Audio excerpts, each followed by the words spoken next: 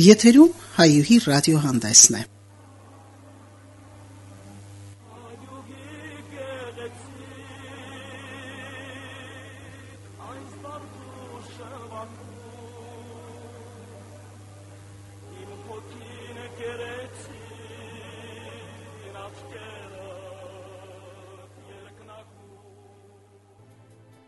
Մեր հանդեսի այս թողարկմանը ներկայացնում ենք անվանի հայուհի Արցախյան պատերազմի հերոսների կյանքի ու սխրագործության պատմությունը սերունդերին պահտված գրող, լրագրող Հայաստանի Հանրապետության գրողների միության պատվավոր անդամ Գոհար Մարտիկյանին։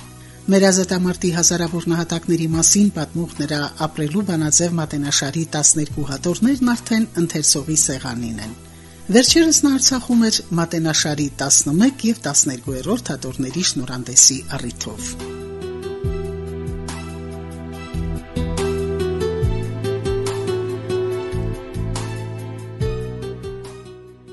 Նախ հակիրճ ցանոթություն։ Գոհար Մարտիկյան, հերոսամայր ում որդին Աշոտ Չախոյանը Հայաստանի Հանրապետության Պաշտպանության նախարարության հատուկ նշանակության գնդի առաջին զոհն էր։ Նրա կյանքի ու հերոսաբար զոհվելու անօրինակ պատմությամբ Որթեկորուս Մայրը փորձել է վերցանել իմացիալ մահն ընտրած քաջազուն հայրենիների արժանապատիվ ապրելու բանաձևը։ Հայաստանի հանրային ռադիոյում ծնված ապրելու բանաձև հաղորդաշարը հետագայում կյանքի կոչեց համանուն մատենաշարը, որը մեր ժողովրդի նորորյա պայքարի տարեգրությունը դարձավ։ Ինքը Գոհար Մարտիկյանը, որպես բարեխիղճ ու անաչառ մի մատենագիր, Հուշամատյանի էջերում անմահացրեց խոնար հերոսների այն փաղանգին, որն ապրում էր մեզ հետ, մեր կողքին, པարզ ու հասարակ կյանքով։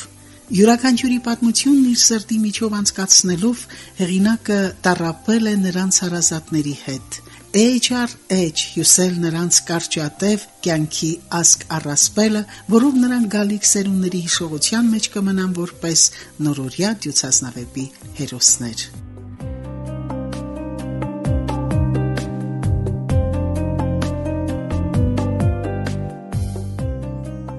Ապրելու բանաձև գրքի 11-րդ հատորը հեղինակի 14-րդ տպագիր գիրքն է։ Գրականագիտական մի շարք հոդվածների, քնարական բանաստեղծությունների, 3 վիպակ Մանչուկի եւ Կարսոնի մասին գրքի երկրորդ վիպակի թարգմանության, Իմ առաջին գիրքը մանկական պատմվածքների ժողովածուհի Ջղակոտուր իմ տոհմածառ Սա Հայաստանը եւ վերջ Լեոնիդ Ասկալդյան վավերագիր վիպերքերի եւ ապրելու բանաձև գրքի 10 հատորների տպագրությունից հետո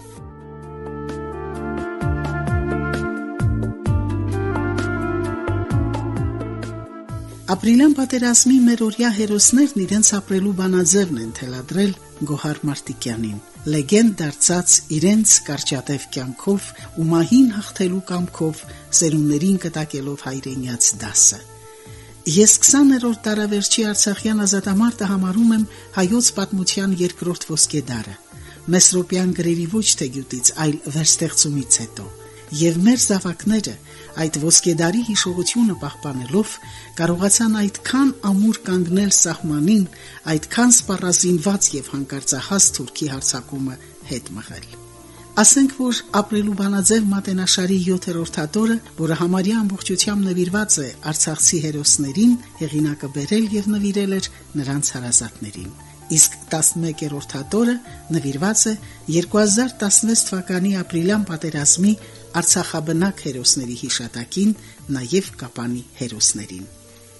Հեղինակի խոսքով այստեղ կան նաև Արցախից կար մի հերոս, որի մասին երևի ոչ մեկը ոչինչ չէր կարող գրել, նա Արցախյան ազատամարտի հերոս էր։ Սլավիկ Ղարիբյան, Մարտակերտից, անչափ, անչափ հերոսական մի զոհ, որը ոչ, ոչ մի հարազատ չունի, իրեն խնամողնիկին կա Երևանում, նա էլ արդեն չգիտեմ հիմա կա թե չկա, իր մասին ոչ մեկը ոչինչ չէր գրել։ Ես կարողացա պեղել այդ ամենը եւ բերել ու զուգակցել 11-րդ հատորում տեղադրել, որ เป զի նրան եւս ճանաչեն, բացի ապրիլյան պատերազմի հերոսների ճանաչելուց հիշեն ու մեծարեն նաև նրան այդ հերոսին։ Ես ինչու եմ առանձնացրել Հայաստանաբնակների հատվածը Արցախաբնակներից, որովհետև մի քիչ ավելի շատ էին Հայաստանաբնակները եւ 10-րդ հատորում նրանք 70-ից ավելին էին եւ գյուղից գյուղ գնալով ու բոլորի մասին գրելով ես կարողացա հասկանալ, որ արդեն ժամանակն է, որ ես նաև Արցախին առանձին առանց անդրադառնամ եւ անմիջապես 10-րդ հրատարակվելու ընթացքում ես արդեն հասցրեցի լինել Արցախում եւ եղա կրկին գյուղից գյուղ հանդիպեցի բոլորի ծնողներին, հարազատներին եւ շատ եմ շնորհակալ իրենց, որ իրենք այդ ամենաթարմ վշտի ու ծանր այդ ապրումների պահին իրենց մեջ ուժ գտան ինձ ընդունելու եւ ինձ իսկապես պատմելու ու ներկայացնելու իրենց տղաներին, որովհետեւ իմ ամբողջ նպատակը նրանց անուն առանուն պատմությանը թողնելն է, պատմության մայծանում իրենց հիշատակությունը թողնելն է, բայց ես ամեն կերպ աշխատում եմ սա դարձնել նաեւ հայոց լեզվի դասագիրք ընթերցողները դա կարդում են ու գիտեն ու գնահատում են դա, որովհետև գրված է մաքուր հայերենով, գրված է գեղարվեստական լեզվով, գրված է այնպիսի մի լեզվով, որտեղ հնարավոր է, այսինքն հայերենը տալիս է այդ հնարավորությունը, որ ամեն ամեն իրավիճակ դու կարողանաս ամենագեղեցիկ ու ամենագրագետ հայերենով ներկայացնես յուրաքանչյուր իրավիճակ, այդ ամենը արված է այդպես եւ տրված է նաեւ նախապատմական բոլոր շրջանների պատմությունը ըստ բնակության վայրի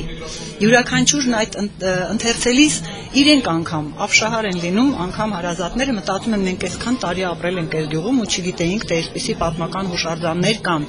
Ու ես ամեն անգամ ուզում եմ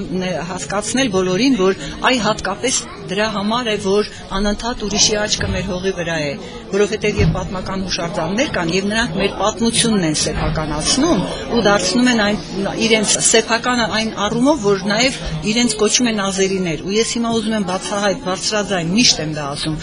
Երբևէ այդ թուրքերին, հրոսակներին մի անվանեք ազերիներ, որովհետև ազերիները պատմականություն ունեցող ազգ են։ Հիմա իրենք էլ անհագրի մեջ ջանում են գրել ազերի, որ իրենք համարվեն ոչ թե ադրբեջանցի, որը չգիտեն։ Չկա այդպիսի ազգ ադրբեջանցի։ Նույնիսկ հանրապետությունը չկար։ Ստեղծվեց, անունը դրվեց, հիմա էլ նրանք բնակում են այնտեղ, կոչվում են ադրբեջանցի։ Բայց աստիճանաբար աշխատում են դառնալ պատմական ազգ, հիմա էլ ուզում են գալ մեր պատմությունը կուլ տալ, բայց մենք ունենք այդ ոգին, համոզված եմ, որ կկոտրենք նրանց ոտքը ազգովի։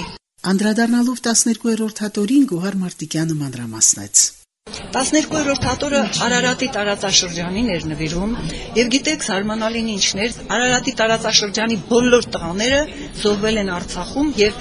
երկրապահներ են մեծ մասամբ Արարատի տարածաշրջանի տղաները ընդ որում որ ընտանիքում որ լինում էիր Արարատը քեզ ուղեկի ինձ անձամբ անընդհատ ուղեկցում էր որ տնից դուրս էի գալի, Արարատն ինձ գրկում էր, որ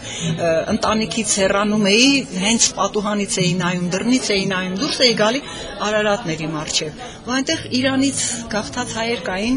անունը Ալյոշա էին դրել, բայց Ալյոշա չէին ասում։ Մայրը 100 տարեկան էր։ 18 թվականին 100-ամյակը պիտի տոնեին, ու ես այդ պատմություններով, այդ Արարատով, այդ Իրանը թողնելով, գաղթելով, գալ Հայաստանում հաստատվելով այդ պատմությունների ազդեցության տակ դուրս եկա դրանց տնից մայիս ամիսներ ու տեսնեմ հսկա Արարատը ամբողջությամբ ձյունապատ, արևն ընկել էր Արարատի վրա եւ բոլոր հապիլները հյուլե-հյուլե ճառագայթում էին ու ճառագայթները գրկում էին ինձ։ Ես նայեցի այդ տեսարանին, չէի կարողանում հեռանալ այդ հրաշքից։ Դա անիրական հեքիաթային մի հրաշք էր, ու ես հասկացա, թե ինչու են Արարատի Արարատյան դաշտում բնակվող այդ հայ տղաները գնացել Արցախը պաշտպանելու, որ հետո գան Արարատը հետ բերեն ու նրանց միակ երազանքը դա է եղել, որ նրանք հետ են գալու եւ Արարատն են հետ բերելու։ Ու այդ ինձ գրկած է ծերունազարդ իմաստուն հրաշքը ուղեկցեց մինչև տուն ու ես անմիջապես հենց նստեցի համակարգչի առջև միանգամից գրեցի իմ Արարատը, այո, բանաստեղ եւ բանաստեղ դարձա։ Այնպես որ տղաները ինձ դարձրեցին պատմիչ, Արարատը դարձրեց բանաստեղծ մեր ազատամարտի նախապատմությունը հասցնելով մինչև 1915 թիվ նա յուրովի կամրջեց նախորդ ու ներկա դարերի հերոսներին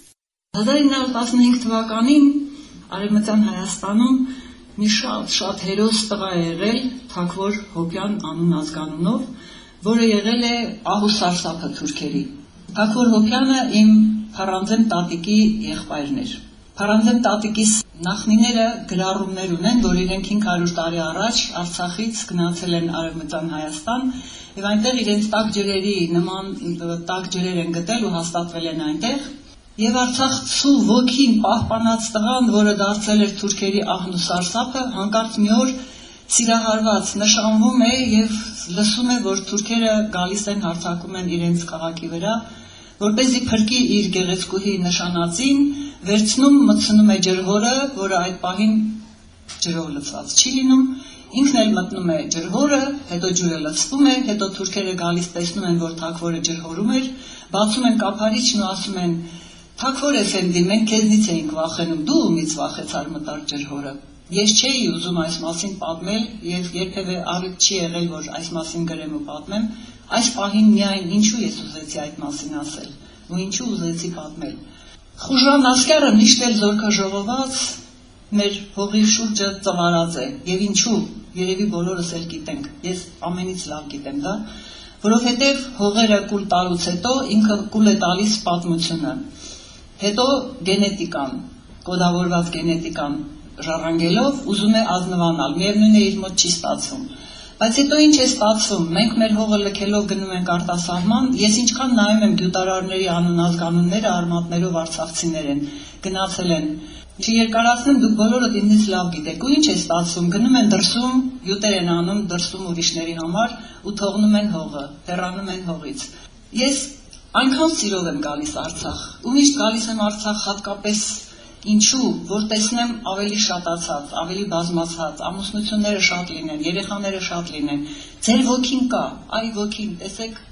բեմում ոգին էր ամբողջ Արցախցու։ Բայց եթե հողի վրա մարդը չլինի, այդ ոգին չլինի ու չպահի, մենք չենք կարողանա հողը պահել։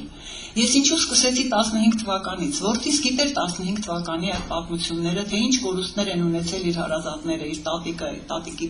բոլորը։ Մի խոսքով ճղակոտոր եղած 1-2-ը փրկվելով եկել են Արևելյան Հայաստան ու մի կերպ փրկվել են։ Բայց եկել են այստեղ նորից կարողացել են կանգնել ամուր իրենց հողի վրա եւ հետո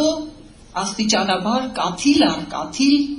Ես չեմ սիրում այդ բառն արտասանել հայրենասիրություն բառը։ Հայրենասիրություն չի, դու հողը պահելու կարոտ պիտի ունենաս, կարողություն պիտի ունենաս եւ ուժ պիտի ունենաս ու ոգի պիտի ունենաս։ Այս զավակս որդիս հենց այդ ոգին է ժառանգում տատիկից, երբ լսում էր ցեղասպանության պատմությունը։ Եվ երբ Մոսկվայում ինքը լսում է, որ Էլչիբեյը պիտի գա Սևանի ափին նստի խնջույքի, թողնում է իր գործը, որը մեզ ապահովում էր բոլոր բարիքներով ու մենք այդ ծանր տարիներին անգամ ված չէինք ապրում, թողնում է Մոսկվան ու գալիս է, որ հանկարծ Էլչիվեյը չհանդգնի, առաջ չգա ու չնստի Սևանի ափին, որովհետև ինքը լավ գիտեր պատմությունը ցեղասպանության։ Այդպիսին էին Հայաստանաբնակ տղաները, ես չէ այդ բառն էլ չեմ սիրում, գիտեք, Հայաստան դուք եք Հայաստանաբնակ ու մենք բոլորս ենք Հայաստանաբնակ հայեր, բայց այդ պահին մենք դեռ ունեինք այստեղ գերիշխանությունը այդ խուժան ասկյարի Դրա համար այդ պահի համար եմ ասում ես Հայաստանամնակ, տղաները ոդքի ելան ու եկան, որ պաշտպանեն հողը Արցախի ու կարողացան տղաները այ այդ պատմություններն էին նրանց դարձրել ոգեկոչել էին կռվի մարտի որ գային ու պաշտպանեին հողը եւ նրանք իզորու եղան դա անելու ու մենք կարողացանք այս մի բուրը յետ վերել ինչ եք կարծում ունեն ոգի տղաները շարունակելու իրենց հողն ու սահմանը պահելու ես Անverջ այդ օրինակը բերում եմ, որովհետև շատ հաճախ եմ առիթներ ունենում եւ դպրոցներում, եւ զորամասերում, եւ ուսանողների շրջանում հանդիպումներ ունենալուց, ու երբ ինձ հարցնում են, ասում են կգնան տղաները կռիվ, ինչ ապրիլյան պատերազմն էի ասում։ Նայում էի բոլորի աչքերին ու ասում էի, չկասկածեք ոչ մի վարքյան, եթե Աստված մի արածце հանկարծ թուրքը ոդքի կանգնեց, մեր բոլոր տղաները, նույնիսկ մայրերն են ելնելու ոդքի։ Եվ տղաներն ապացուցեցին, որ թուրքը չի կարող, որքան էլ խուժան լինի ասկյարը, իրավունք չունի հայոց հողի վրա ոտք դնելու, որովհետև մենք այստեղ ունենք ոգի, ունենք ուժ, ունենք կորով եւ ունենք այնպիսի հող Արցախ ու Հայաստան ասելով, որի վրա ոտքը դնում ես ու առյուծի ուժ ես ստանում։ Այնպես ինչպես ես ոտքս Արցախի հողին դնելով դառնում եմ առյուծ, ու երբ վերադառնում եմ Հայաստան, հավատացեք, Աստված մի արած է, եթե որևէ մեկը ձեզնից որևէ կեր, որևէ լուր ուղարկի ու ասի, որ իմ օգնության կարիքն ունի, ընտանյոք հանդերձ ես ձեր կողքին կլինեմ։ Եվ վստահ եմ, որ նույն կերպ մտածում եք դուք։ Դուք կկանգնեք, կպահեք ձեր հողը ու եթե պետք լինի կգաք օգնության ինձ, որովհետև երբ ես ապրիլյան պատերազմի ժամանակ անօթաչու թրջով սարքի գնդիկավոր այդ խրբահարումից հետո այրված համարյա կիսամեր Գևորգ Ազոյանին այցելեցի մեզ մոտ Երևանում էր պարկած Պատկերացնում եք 9 զոհվել էին, մի քանիսը ողջ էին մնացել, իսկ Գևորգ Ազոյանի վրա ամբողջ այդ գնդիկավոր այդ պայթյունների ամբուժելի վերքերն էին։ Ասում եմ Գևորգ ինքը կրվել էր Արցախյան պատերազմի ժամանակ Սյունիքի երկրապահ կամավորականներից էր եղել ու երբ Արցախյան պատերազմը սկսվել էր Սյունիքի երկրապահների հետ եկել էր։ Գևորգ ասում եմ ոտքի կանգնելու ես, ասեց իհարկե կանգնելու եմ սահմանը մեզ է սպասում։ Այնպես որ մենք ունենք այդ ոգին, մենք կպահենք այդ ոգին եւ մենք կպահենք ու միասնական կդարձնենք Հայաստան ու Արցախ, որը կլինի հզոր Հայաստան բոլորիս ջանքերով։ Գոհար Մարտիկյանը համոզված է նաև, որ ապրիլյան քարորիայի հերոսները սերում են անմիջականորեն 88-ի շարժման հերոսներից։ 2016-ի ապրիլյան քարորիայի հերոսներին դաստիարակեցին Արցախյան ազատամարտի հերոսները։ Դա միանշանակ, որովհետև ես չգիտեմ ով ինչպես, բայց այդ ամբողջ Արցախյան պատերազմը մենք կարողացել ենք ներկայացնել հանրությանը եւ ամբողջ աշխարհին ենք կարողացել ներկայացնել, բայց որ հատիկ-հատիկ լսում են իմ բոլոր ապրելու բանաձևերը եւ Հայաստանում չկա մեկը, որ չլսի ապրելու բանաձև։ Կներեք, ես մի պատմություն եմ երբեմն պատմում, ուրեմն գնում եմ գրադարան հանդիպման ու շտապելուց ես տաքսիով եմ գնում։ Տեղ պիտի հասնենք, բացում եմ դրամապանակս, տեսնեմ 5000-անոց է տաքսու վարորդները միշտ չի որ մանրեն ունենում։ Ինքը մեքենան վարում է, վարորդը ես հետևից ասում եմ, «Բա ինձ կներեք էլի, ես չէի նկատել, ինձ մոտ 5000-անոց է, դուք մանր կունենաք»։ Այս վարորդը մի անգամից այս ղեկը բռնած շրջվեց ու ինձ ասում է ապրելու բանաձև ես ապշահար էի ու հետո ինձ որ տաքսիով ստանում են ռադիո բոլոր վարորդներն ասում են այստեղ մի աղջիկ կա դե ձայնով են կողմնորոշվում մի աղջիկ կա որ այսպիսի հաղորդում է վարում ու մենք մեծ հաճույքով լսում ենք հաղորդումները այնպես որ եւ հաղորդումները եւ գիրքը արժանանում է գնահատականի ես ես առաջինը փառք եմ տալիս Աստծուն այդ շնորհի համար, որ օգնում է ինձ ես կարողանամ այդ ծանր աշխատանքն անեմ, երկրորդը, որ տղաների իշատակը մնում է պատմության մեջ, եւ երրորդը, որ յուրաքանչյուր ընթերցող դպրոցի դասագիրքը բացելուց հետո, երբ որ կբացի այս գիրքը, որը հուսամ կդառնա գոնե արտադասարանական ընթերցանության դասագիրք, որովհետեւ վստահաբար ասում եմ, արժանի է դառնալու արտադասարանական ընթերցանության դասագիրք, եթե ոչ իհարկե դասարանական պարտադիր գրականության, գոնե արտադասարանականի արժանի է յուրաքանչյուրը գիրքը թերթելով ոչ միայն կմեծարի հերոսներին, օրինակ կվերցնի նրանցից, այլև կսովորի եւ գրագետ հայերեն խոսել, եւ կսովորի որտեղ է ապրում, որտեղ է ծնվել, ինչու պետք է ճիշտ ապրի եւ ինչու պիտի պահպանի իր հայրենիքը, որը նախապատմական է եւ աստվածակերտ, որտեղ առաջին մարդն է կերտվել ու տարածվել աշխարհով մեկ։ Իսկ տպականակը թույլ է տալիս, որ դպրոցներում, ասենք զորամասերում, համասարաններում ինչքան որ թույլ է տալիս, ինչքան որ հնարավոր է, այսպես ինչքան հնարավոր է։ 500 500 օրինակ, 200 օրինակ, 300 օրինակ։ Բայց դա չի ամենաշատը։ Դրա համար պետական պիտի գիտակցությունը լինի, ասենք կրթության նախարարության կամ չգիտեմ մշակույթին վերաբերում թե չէ, բայց պիտի նրանք ունենան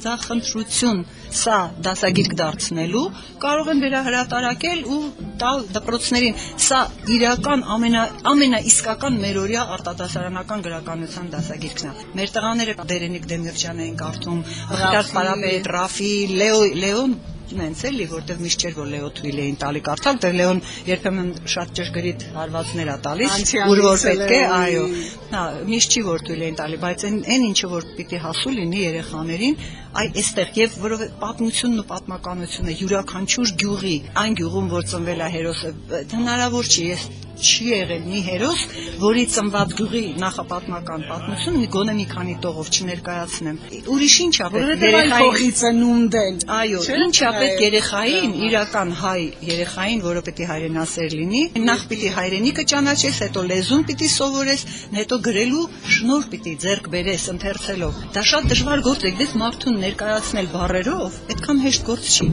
Պիտի կարդան երեխաները, որ հասկանան ինչպես կարելի է։ Հիմա մենք հանրային ռադիոյում փորձում ենք այդպիսի մի շարժում սկսել, որ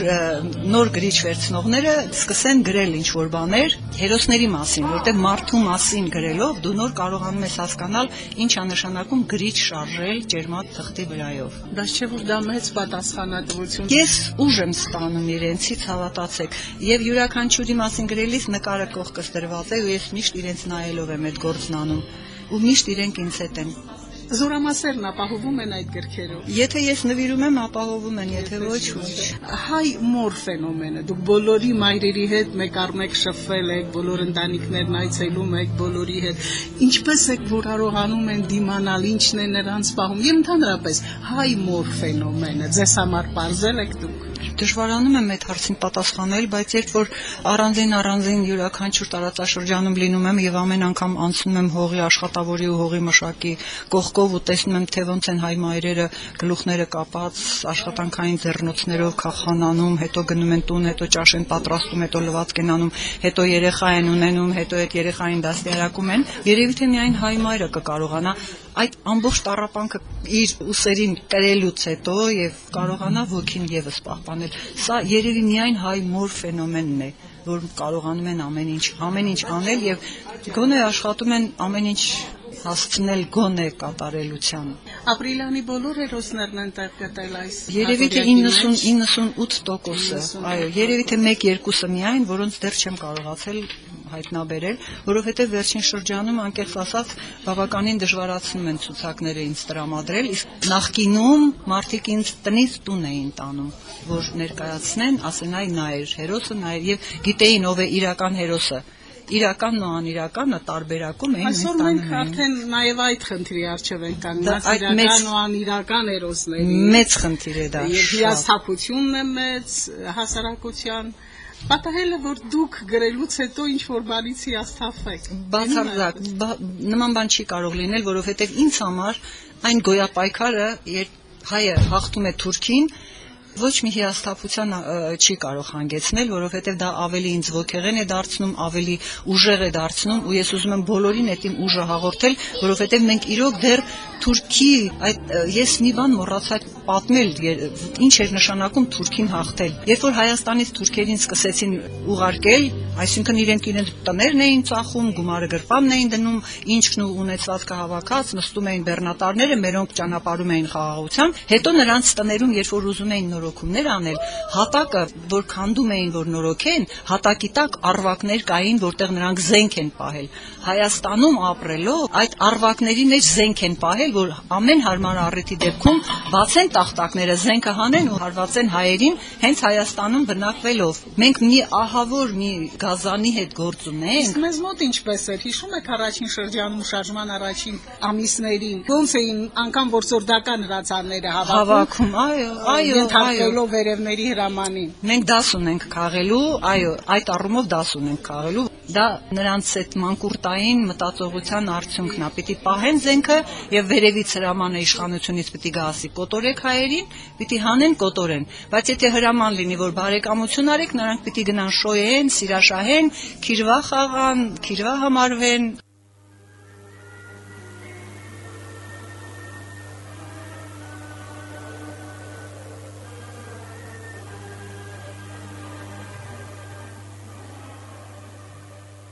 ավարտվեց հայուհի ռադիոհանդեսի հերթական թողարկումը։ Հիշեցնենք այն նվիրված էր գրող լրագրող Հայաստանի հանրային ռադիոյի ապրելու բանաձև հաղորդաշարի հետագայում համանուն մատենաշարի հեղինակ Գոհար Մարտիկյանին։ Հաղորդումը պատրաստել էր եւ արեց Մելանիա Միլոնյանը, մոնտաժը Նադեժդա Դոլուխանյանի, հնչյունային ռեժիսոր Ռոմելա Պետրոսյան։